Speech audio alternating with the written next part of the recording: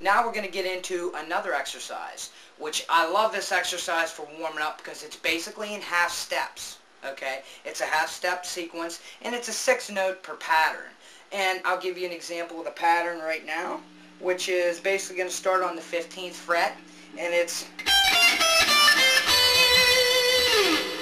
which is the six notes you're going to play. Good thing about this lick is you're going to go down half steps descending up the neck, I should say, because you're going to start on high E, work your way up to low E.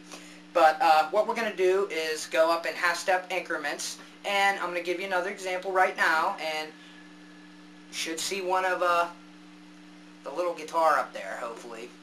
Uh, here we go. I'm going to play it slow so you get it, and then I'm going to play it fast.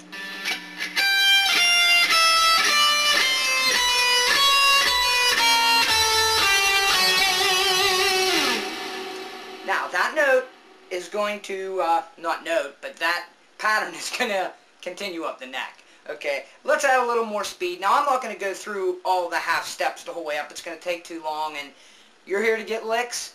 That's what you're going to get. So, I'm going to play it a little bit faster for you, and you can always rewind or, you know, pause it if you if you don't get it. Pull out the papers, and you're in good shape. Here, here it is with a little bit more speed to it.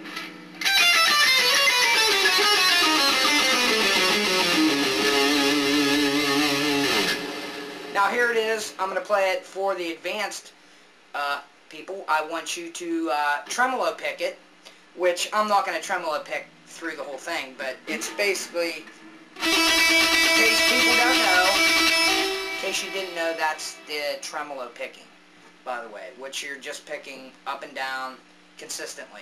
Now, I'm going to build this more speed, so here it goes.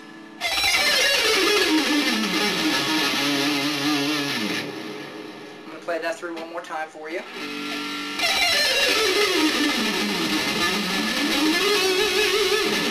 Now, as you see what I can do, you can also ascend it back up in half-step increments.